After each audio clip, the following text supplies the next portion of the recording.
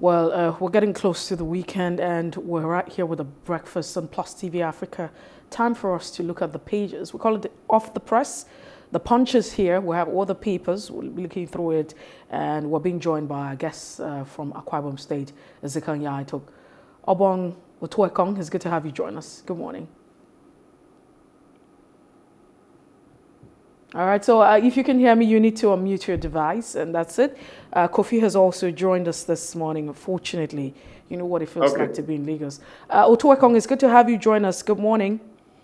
Thank you. Good morning. Always a pleasure. God bless you. All right, then we'll start off the uh, papers this morning with the punch. Uh, looking at the punch, recent crisis aimed at stopping me. That's what Tinubu is saying says Naira redesigned fuel scarcity designed to squattle pool. Tinubu trying to blackmail Buhari. A Atiku campaign is quoted to say allegations unfair and fuel crisis. Uh, it's a perennial issue, says marketers. Okay. Federal government budgets 1.2 trillion naira to service CBN loans. Banks ration new notes. Emefiele Sean's reps voting, Atiku will be a mistake, says whistleblower. And still looking at the punch now, and it says, duty hike. Used vehicles import fall by 40%. Uh, Just before move away from the punch now, Suspenses Tribunal decides Adeleke Oyetola's suit on Friday. Ikpeazu Ohanaeze one Abia PDP governor candidate uh, we ask that his soul rest in peace. Parties back U.S. visa ban on elections rigors. These are the headlines you find this morning on the Punch newspaper. Uh, very interesting headlines indeed on the Punch. The Nation has the following headlines.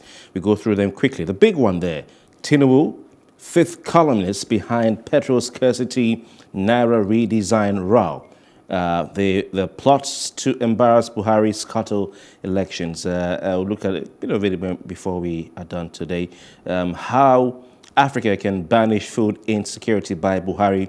Uh, bomb blast kills 51 in Nasarawa. Victims get mass burial. It is a heartbreaking story.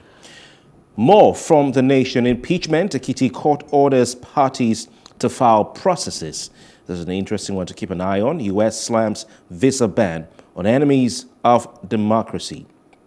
No cash supply at ATM points over scarcity of new notes. Um, we've seen some queues in some states around the country. Anxious customers beseech banks, cautious banks hold on to old Naira notes. Some people are swearing that Emefiele will extend that deadline. Uh, tributes Azabia PDP governorship candidate uh, Ikonne dies at 66. Very sad one. Those plotting to deal with me won't win elections, says Wike. He's back on front pages. Those plotting to deal with me won't win elections, says Wike. Uh, Abdul Razak signs 188.8 naira budget. I think that should be billion naira. And uh, Messi rejects new PSG contract. Who knows if he wants to go enjoy some Arab money with uh, Cristiano Ronaldo? Those are the, the, headlines on the front page of The Nation.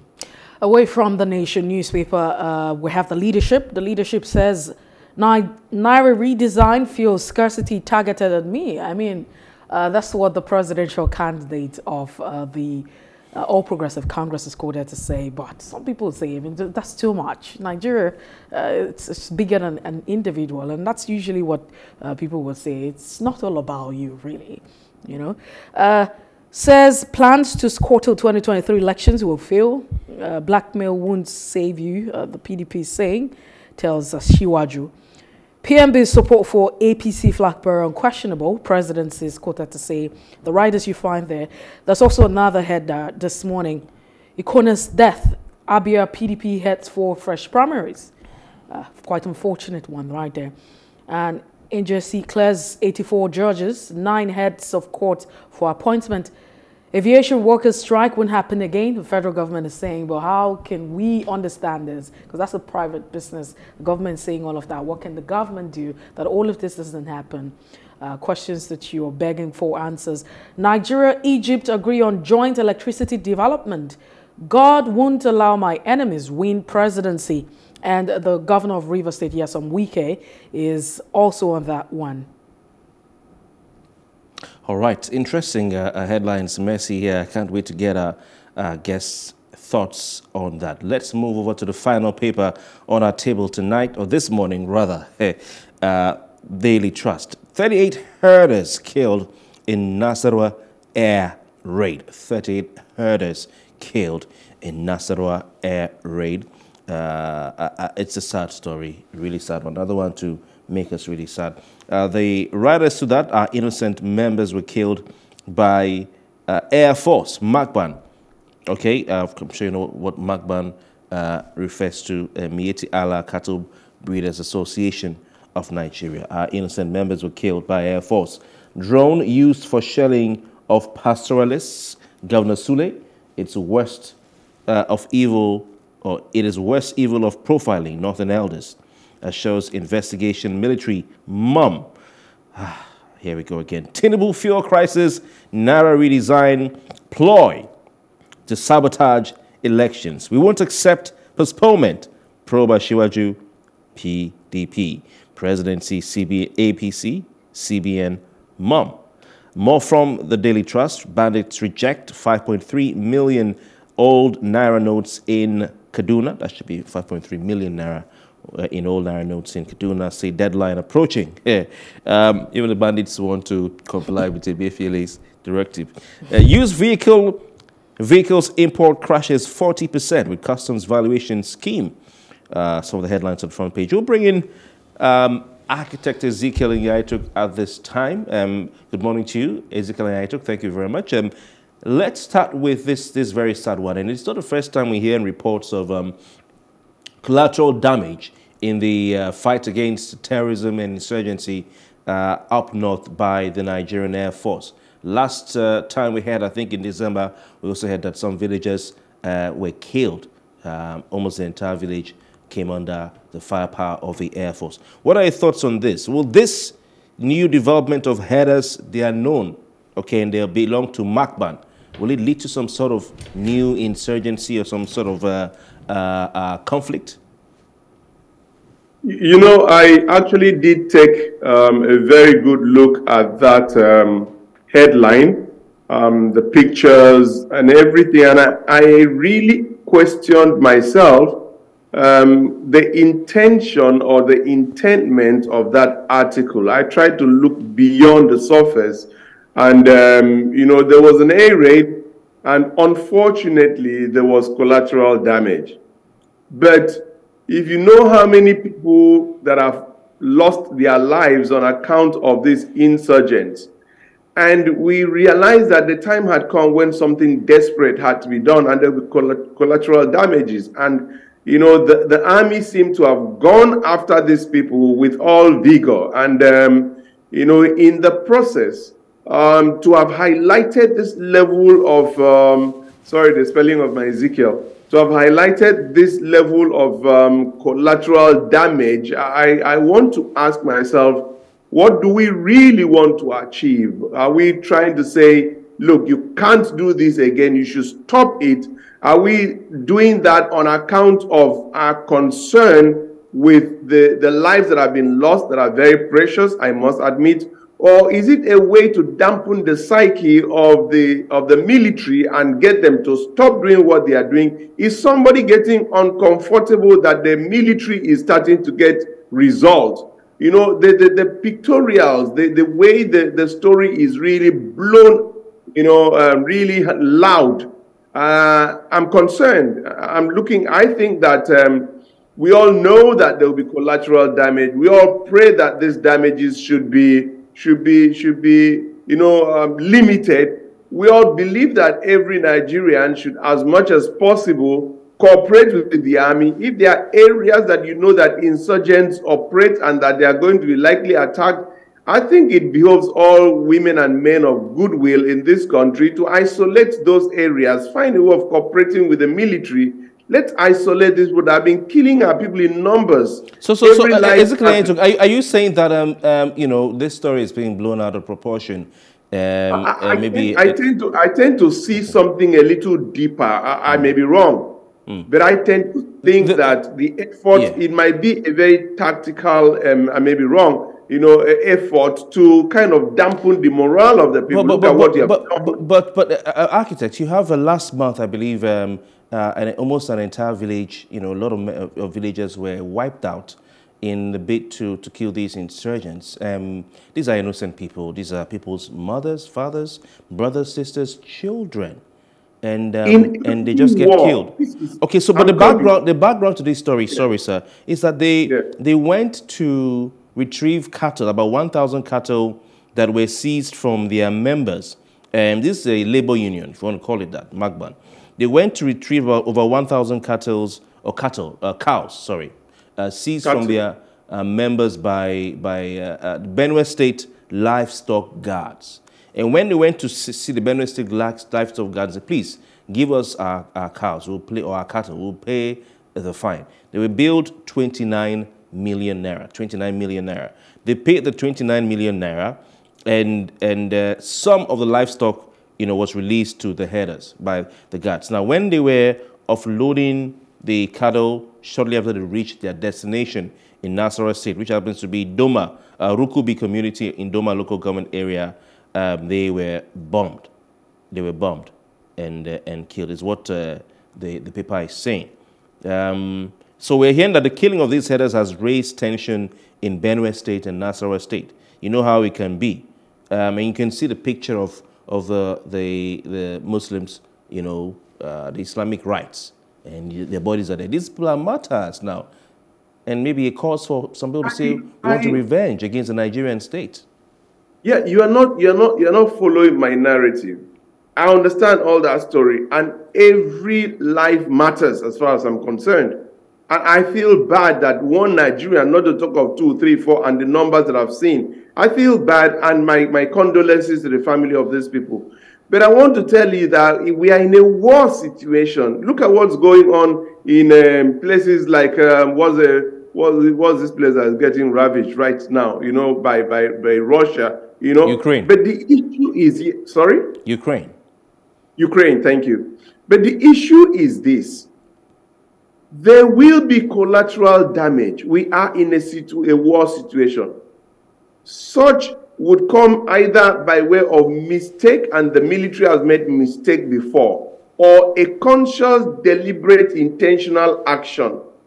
Now, when you look at the story behind, I don't think that they will attribute it to intentional, deliberate action because it is not the government of Benue State that undertook the operation, but the army of the Federal Republic of Nigeria.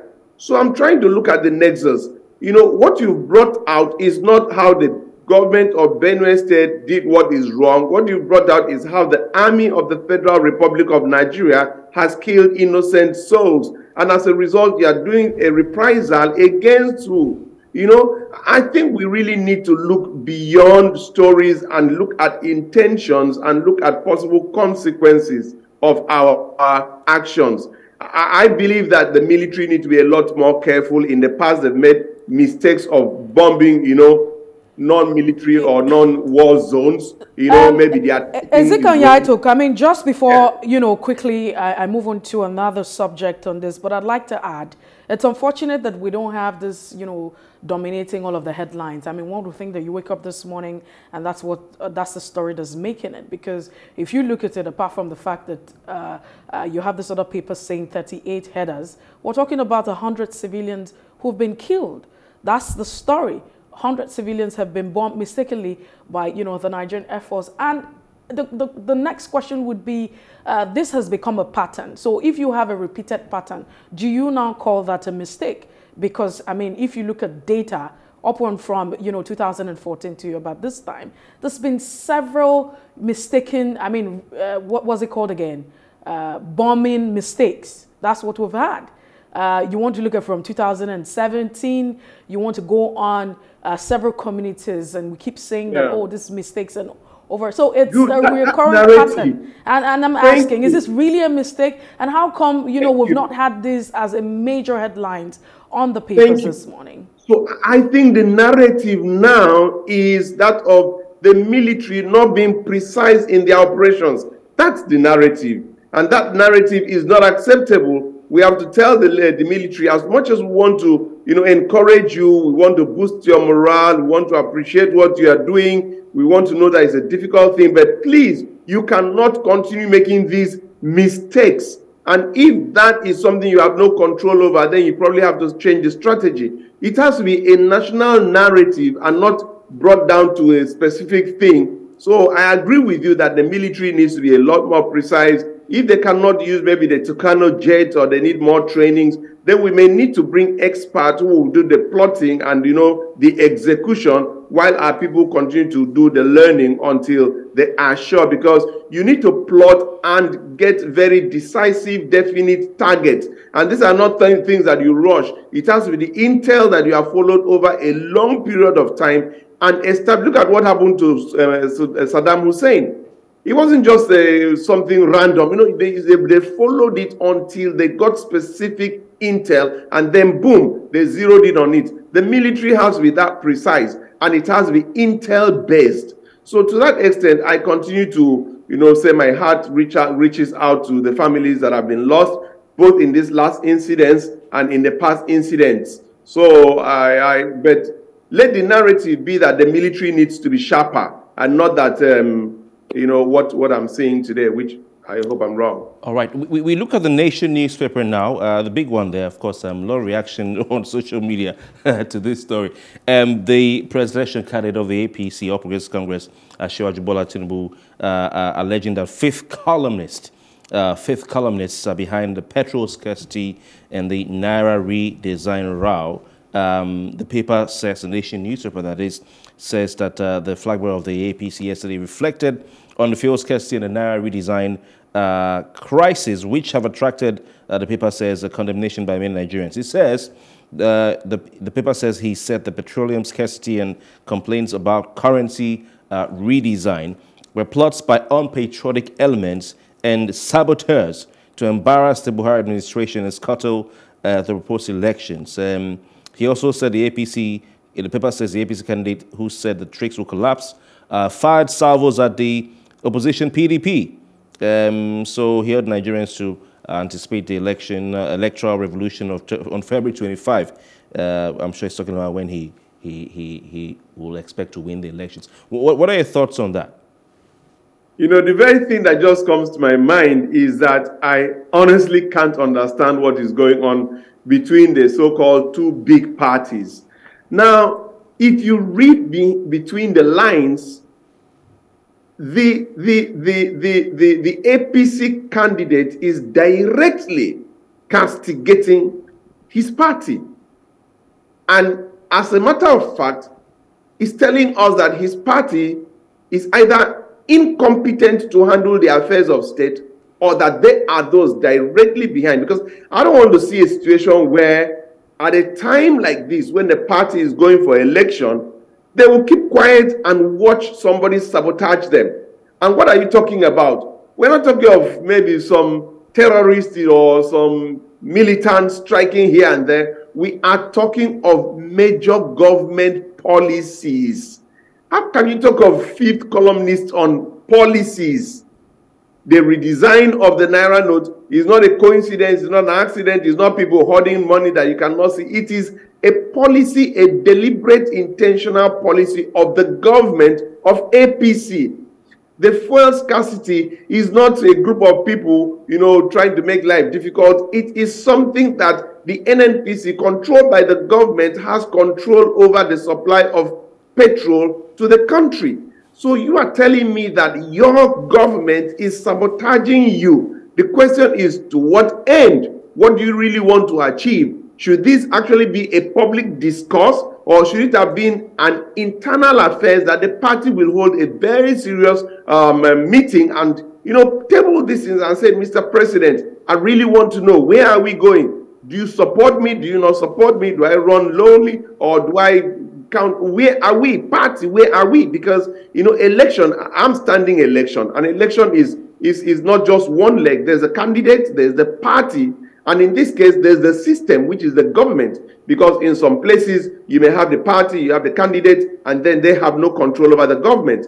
But where there's a party, there's a candidate, there is the government. The issue is what is the tripartite relationship between the three of them? And something tells me that something is fundamentally wrong within the camp of the APC.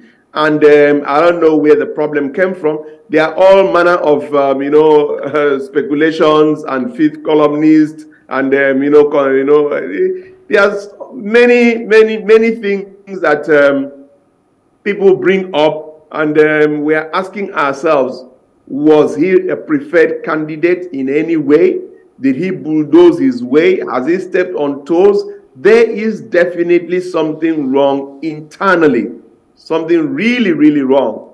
And um, I think they need to find a more creative way of bringing out that um, because before conspiracy theory starts to nail what um, I tend to think is happening. Mm. And again, I think it was very unfair for himself to bring up the issue of um, Castro. You know how they've called him Mr. Bullion Van. So you wanted to, if I were his strategic advisor, I would have let him have the impression that, oh, no, no, this doesn't bother me. All the things have been said. So all that bullion van thing you were talking about is absolute nonsense because we are executing this um, um, policy, this election with our strategy. We are going to win. Then inside house, you can be saying, oh, guys, what's happening? But when you come outside and say, ah, cash um, exchange is causing problems, is it that you still have a large stack of note, old notes that you have not brought out. If you have not brought it out, why, where are you keeping it and why are you keeping it there? Are you a patriotic Nigerian? Should that be the proper thing to do? Questions and questions, and they need to be careful the remarks they make because it's going to raise a lot more questions. Ezekiel I talk. let's talk about, you know, the elections and the concerns that you have the United States uh, raising. Uh, Antony Blinken has said that uh, um, you know, there will be some restrictions on those who are trying to undermine our democracy. And of course, uh, the punch says that parties back U.S. visa ban on election riggers. Uh, specifically, uh, you have some parties saying, hey, we support this as a welcome development. But I'd like to ask you, do, do you think that, you know, in its real sense, that the United States is really uh, you know, in support of our democracy, not undermining it, that they are committed to this is not just on paper. I'll tell you something. I've, I've traveled so almost uncountable number of times to the United States of America. And I will tell you that at the highest level of the governmental operations, Nigeria is a major, you know, focus on their policies. Nigeria has the largest enlightened immigrant settlement in the United States, in the whole world, Nigerians. Aside from that, the population of Nigeria in Africa, which is the next frontier, is not such that you can dismiss with a wave of the hand. If anything goes wrong in Nigeria, God forbid, it will affect the economy of America directly, directly, not indirectly the number of people that will be seeking asylum from Nigeria, the whole of the West African sub-region is going to get unsettled and is going to affect the rest of the world. So whatever goes on, the peace and stability of Nigeria is important to the international community. Now, what I would tell you is that they may not want the sort of peace that leads to progress because the progress of Nigeria, in my opinion, is a threat to the international communities to a large extent. That is why each time we are doing leadership recruitment, you really don't see them lining behind. Look at all the young people that we are having. Look at all the, you know, the, if you listen to certain candidates, whether it is that of um, ADC or that of SDP or other young, they are young, vibrant people that if the American government wanted to give them strategic support for them to come up and give Nigeria focused leadership, they know what to do. I tell you this with every sense of responsibility. Even a state like Akwa Ibom State, which is extremely important, you know, to the economy of Nigeria, not to talk of the global. They will but, do but, everything. But, but, but, Ezekiel, I mean, you, you said that, you know, if you look at the policy and that's what it is, Nigeria has a stake and what have you. But uh, this is not the first time I'm hearing this statement from the United States. And we're asking how many persons have been banned, how many visas have been restricted of these persons. I mean, public, especially where we're in an era where the social media is there. And of course, they, they also uh, have the observant every other time monitoring the election. So you can't tell me, is this not just another lip service? Um, you know, trying to be the big brother of the world. You know, there's the way things work. I always say, say it. I always say it. Mine is say it. Because there's something in the Bible that I believe. The Bible says that a man is ensnared by the words of his mouth. Say it first. You understand me? It, it's something that goes beyond the natural. Say it first. Because it's easier to activate what has been instigated than for you to start from the beginning what has never been pronounced. So for me, say it. And you know, times and seasons come. You know, it's like the politics in Nigeria. You know, it's not going to be, not going to be, and all of a sudden you discover that it happens. So just say it. For me, I'm happy that they are saying it because it will be easier to activate what they have said. So I really don't have any problem. Yeah, there's a lot of, you know, we need leaders who understand world politics when we have leaders that understand world politics, they will know what extent to go with what Americans say or the British say. They will know that our success is a threat of some sort to them. They will know that we cannot leave our lives in their hands. They will know that they need us as much as we need them, but that they are not going to make us as good, not to talk about being better than they are that they, that's why when we go to China and try to see China helping us, borrowing us, we need to know that there are lines that the Chinese will not cross. They think of themselves first, just like we say Nigeria first, Americans America first. So there's an extent to which somebody is going to help you. You've got to know that as a leader and know how to play the game. We have people who are in positions of leadership who don't understand global politics, global leadership, you know, strategies and dynamics. You've got to know these things so that when you go to somebody, you know that that guy is not going to love you more than himself. So you've got to know where to draw lines and not to think that, oh, you can leave your hands in the hands of another person. Lie. All right, Ezekiel, thank you very much. Let's look at the uh, another story, a very interesting one on the front page of leadership. Um, I mean, these days it seems that Egypt has become a reference point uh, uh, in Nigerian political discussions. So, in discussions surrounding electricity uh, power supply in, in Nigeria, we will always look at Egypt. Uh, I, I, think it's became more popular or popularized by a particular presidential candidate, if I'm not mistaken.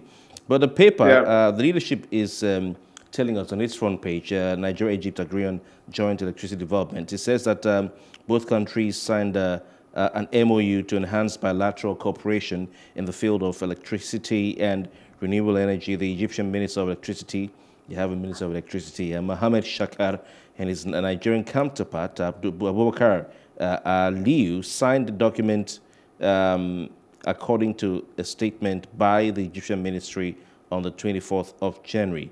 Um, so he's a Minister of State for Works and Housing. Um, what are your thoughts on this? Yeah, um, two things. Um, you know, we get people who get into power without really knowing the essence of seeking public office outside of state capture. One of the most basic, most fundamental, most problematic issues that we've had to deal with as a country is the issue of power.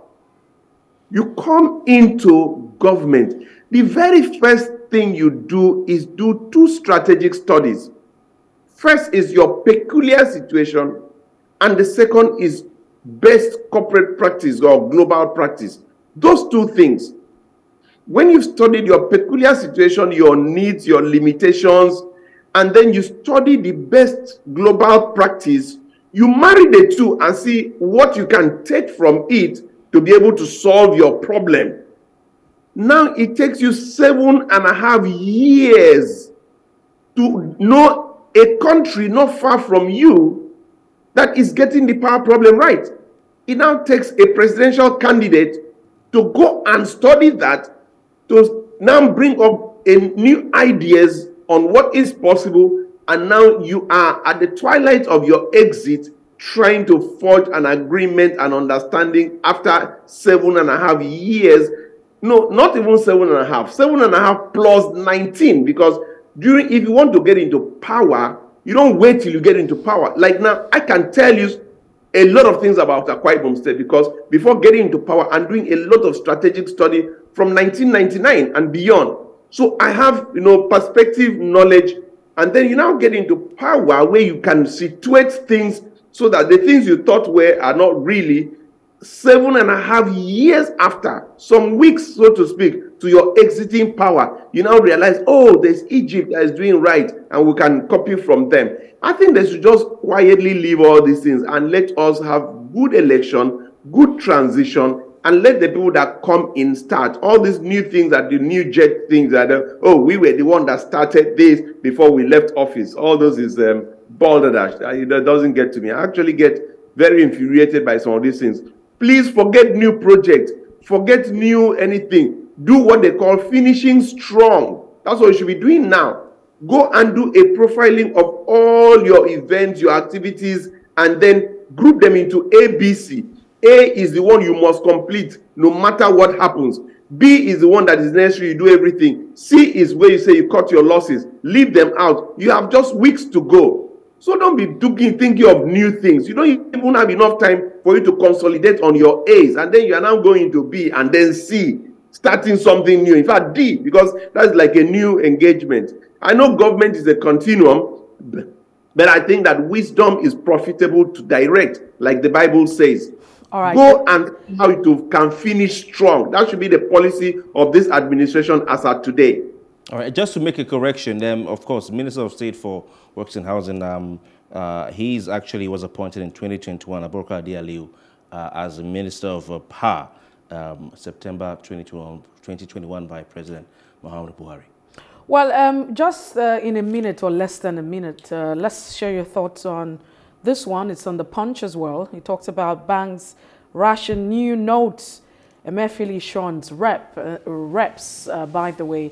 I mean, there's several quarters. A lot of persons anticipated that, you know, there will be an extension as to the swapping of the notes, uh, the new Naira with the old Naira. But uh, uh, listening to the CBN governor, he said he had no good news for uh, you know, those persons who are anticipating, and it is what it is. Uh, how do you react to this headline? The very first thing is that I go to banking hall and the note counting areas, and they are empty. What I don't, I don't understand what is going on. The only thing I can arrive at is that there are people that have these tons and tons of money they cannot afford to bring out. There's been enough time. And let me tell Nigerians that there will be no extension. If any extension would be done, it will be far after the election. But you see, for this election, all the people that have put money to buy votes, they don't enter voicemail. It's not going to not going to work. Emefiele is not going to change. The best he can do is to say, okay, I extend by another one week. Quote me and quote me well. But to say that they will leave that indefinitely and you use old notes to go and do election is not going to happen. I can tell you that we know without without batting an eyelid. So for me, the banking halls are still empty. The note counting rooms are empty. And you are complaining. I can understand that of PVC collection where you go, you can see long queues. Please tell me your reason for wanting an extension. Go to any bank, go to the bank counting rooms, you discover that I've, I've, done, I've done that myself. So the question is, who, who has a problem? And why does the person have a problem? They go answer that question. No? They will answer. All those that have money in their sock away, that money is going to soak away.